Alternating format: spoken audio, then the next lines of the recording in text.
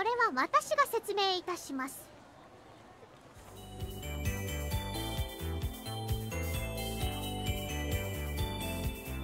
やはり私が見えるようですね。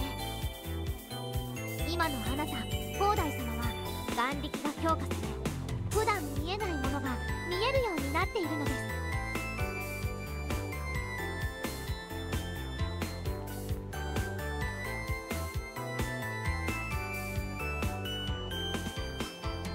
私はエコロ人間に愛を運ぶキューピッド。つまりは天使です。まあ見習いなんですが。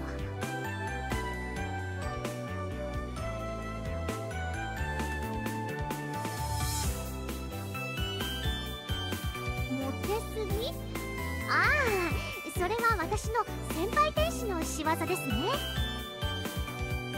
先輩はやればできるお方ですのにちょっとうっかり屋さんなところがありますので。あの時はせっかく私が人間界まで降りてきてフォローしてあげたのに。その後の補習でまたやらかしちゃうから未だにあんな罰を。まったく先輩は本当に私がいないとダメダメさんで。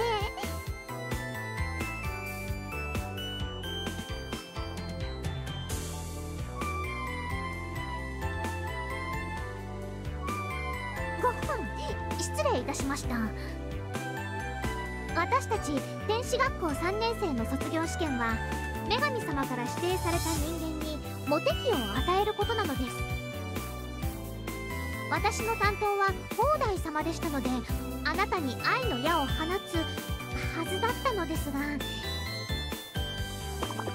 あ悪魔からの妨害がありまして誤って超強力なチャージショットを打ち込んでしまったのです。通常一度のモテ期に使う矢は一発限り。だというのに今回放ったチャージショットの威力は通常の矢の32発分。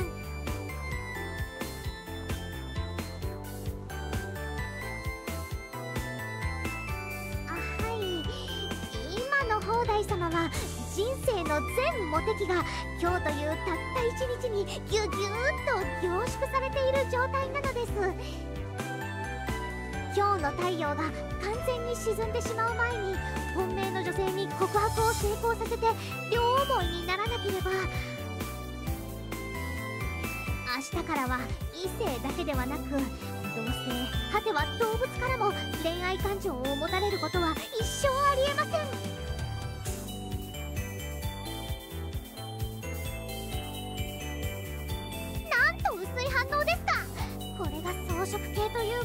しょうか？もっと危機感を持ってください。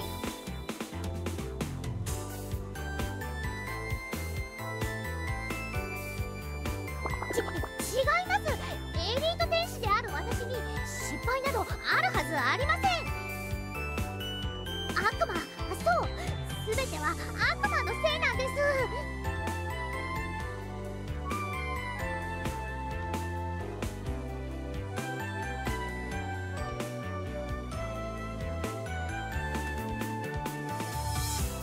そ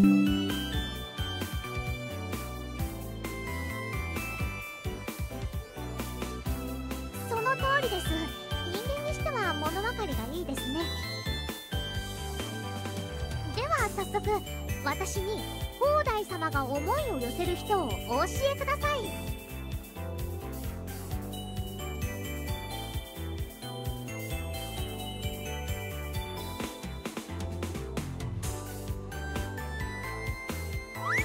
はということはかつてはいたということですね。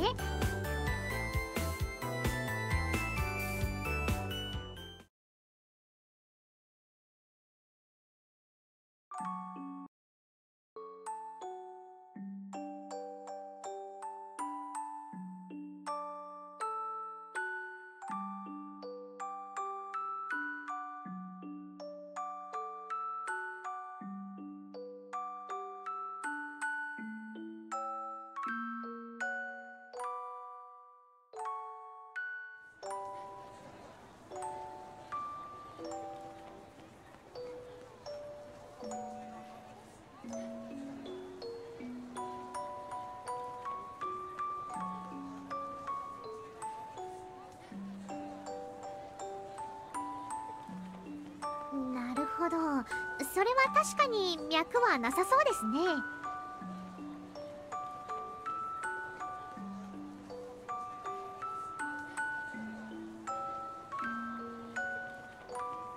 ダメだったと。それで諦めたと。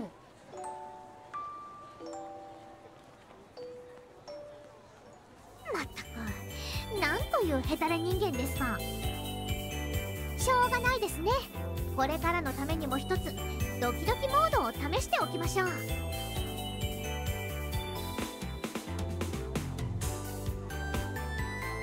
ヘタレな砲台様を助けてくれる神聖なる妙義です。おっとちょうどいい具合に女の子が告白に来ましたよ。試しに昇天させてみましょう。